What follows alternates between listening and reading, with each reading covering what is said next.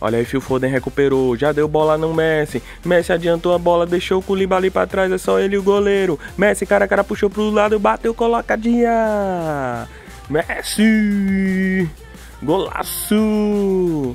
Messi ganhou na arrancada com toda tranquilidade, bateu no canto do goleiro chapado. Confira de novo no replay, ele sozinho com todo o nervosismo do mundo para fazer um belo gol. Lionel Messi! Extrema categoria aí do argentino, melhor jogador do mundo, Lionel Messi.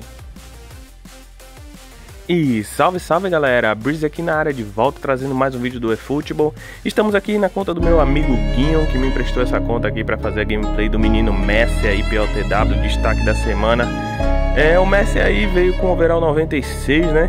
Veio muito bom aí, o Lionel Messi. Vamos ver o que ele é capaz nessa gameplay, né? Menino Lionel Messi aí ganhou o prêmio The Best, The Best o melhor do ano aí, graças ao título da Copa do Mundo, né? Jogou muito, levou a Argentina nas costas e mereceu. Vamos lá para sua fichinha.